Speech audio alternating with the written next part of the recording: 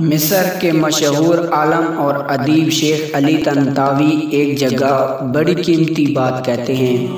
वो कहते हैं कि जो लोग हमें नहीं जानते, उनकी नज़र में हम आम हैं। जो हमसे हसद रखते हैं, उनकी नज़र में हम मगरूर हैं। जो हमें समझते हैं, उनकी नज़र में हम अच्छे हैं।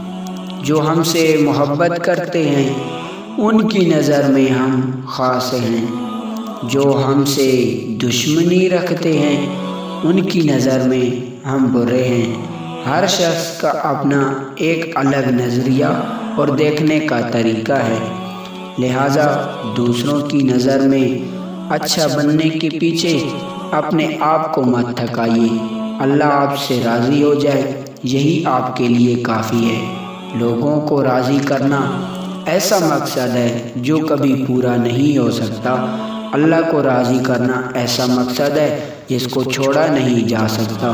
तो जो चीज़ मिल नहीं सकती, उसे छोड़कर वो चीज़ पकड़िए जिसे छोड़ा नहीं जा सकता।